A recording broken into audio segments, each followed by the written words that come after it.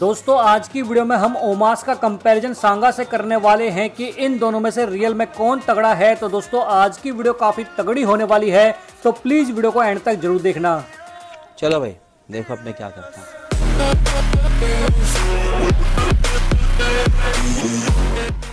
दोस्तों ओमास का real name Jordan among बेहिन है तो सांगा का रियल नेम सौरभ गुज्जर है। दोस्तों ओमास की हाइट सात फुट तीन इंच और वेट 405 पाउंड है। तो सांगा की हाइट 6 फुट 8 इंच और वेट 326 पाउंड है।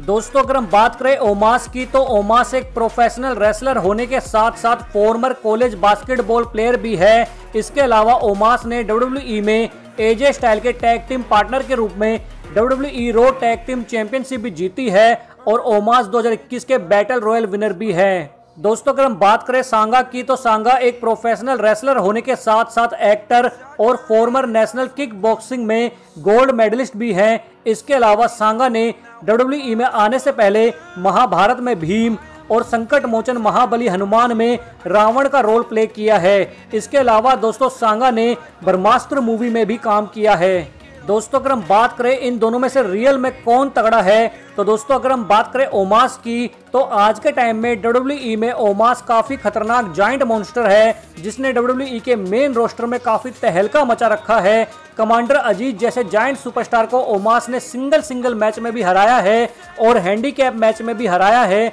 सैंकी सिंह जैसे जाइंट सुपरस्टार को भी ओमास ने बैटल रॉयल में एलिमिनेट किया है। यही नहीं दोस्तों, आज के टाइम में डब्ल्यू ओमास को मेन रोस्टर में काफ़ी तगड़े जाइंट सुपरस्टार के रूप में दिखा रही है। लेकिन दोस्तों, जहाँ बात आती है सांगा की तो सांगा NXT 2.0 के अंदर तो काफ़ी तहलका मचा रहे हैं लेकिन अभी मेन रोस्टर में सांगा ने अपना डेब्यू नहीं किया है।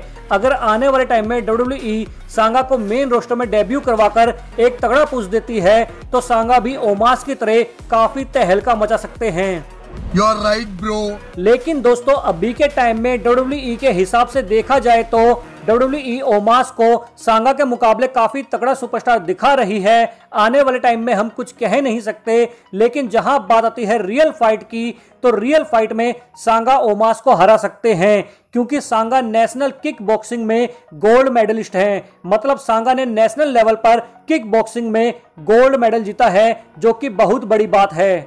यू आर राइट ब्रो तो दोस्तों डब्ल्यू के हिसाब से देखा जाए तो हो सकता है डब्ल्यू ओमास को सांगा से जितवा दे, लेकिन रियल फाइट में सांगा ओमास को हरा सकते हैं, क्योंकि सांगा ने किक बॉक्सिंग में काफ़ी तगड़ी ट्रेनिंग ले रखी है और सांगा नेशनल लेवल पर किक बॉक्सिंग में गोल्ड मेडलिस्ट हैं। तो दोस्तों रियल फाइट में सांगा ओमास को हरा सकते हैं, लेकिन दोस्तों, ये सिर्फ़ मेरा ओपिनियन है। आपको क्या लगता है? वो आप मुझे कमेंट के थ्रू बता सकते हैं।